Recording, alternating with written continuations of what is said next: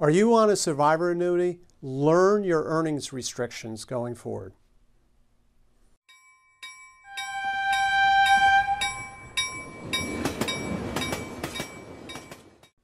Welcome everyone to another edition of the Highball Advisors Railroad Retirement Whiteboard.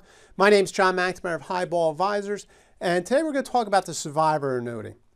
I've done quite a few number of videos on that, but I specifically want to talk about uh, those survivors, they have to go back to work, right? The survivor annuity might not be enough to get them through, uh, you know, make uh, ends meet, so to speak, or, uh, you know, uh, take care of the family, that type of thing.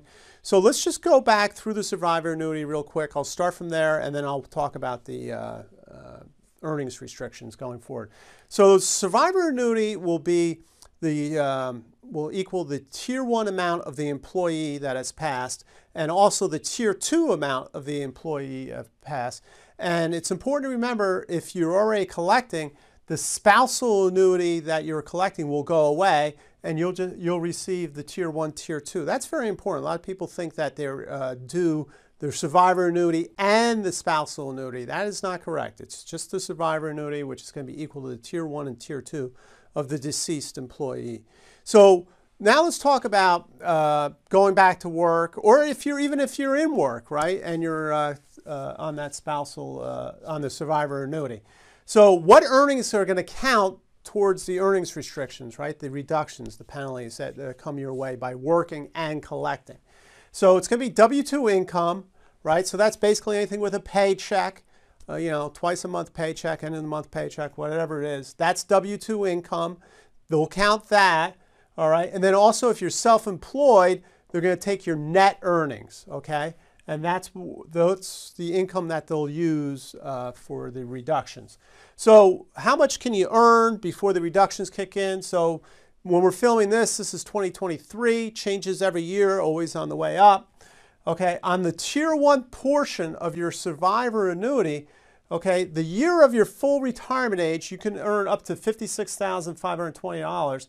But for uh, every $3 you earn over that amount, you're going to lose a dollar of the survivor annuity. All right, now if you're significantly below, let's say, you know, under the full retirement age, starting at 62 or even before, anything over $21,240, you're going to lose uh, $1 for every $2 that you earn on in the tier one portion of the survivor annuity, right? So very important. You got to you got to plan for this stuff. Now on the tier two portion, that's where that last pre-retirement employer uh, employer comes in. So if you're working uh, already and you're collecting railroad retirement, uh, and you go back to work, okay, that's where the last pre-retirement employer is. And you're going to lose $1 for every $2 earned, okay, up to 50%. And there's no income limit here. It just starts, okay? And it goes up to 50% of that survivor annuity on the tier two portion. And that's not even restricted by full retirement age. So if you go past full retirement age, this will always be in there if you're working for that uh, last pre-retirement uh, employer.